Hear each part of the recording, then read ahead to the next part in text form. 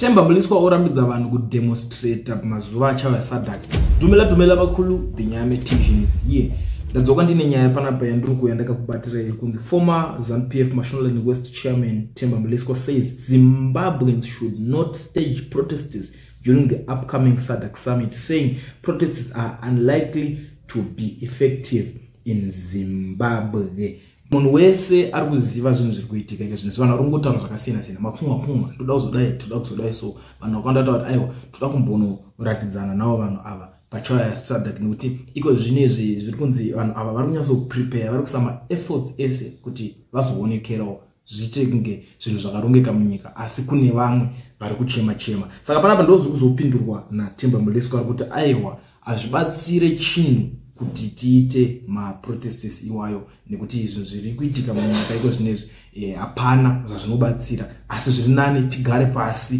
tiite zvekutaurirana tishandise dzimwe nzira. Ndo mashoko ari kubva kunovatemba muliswa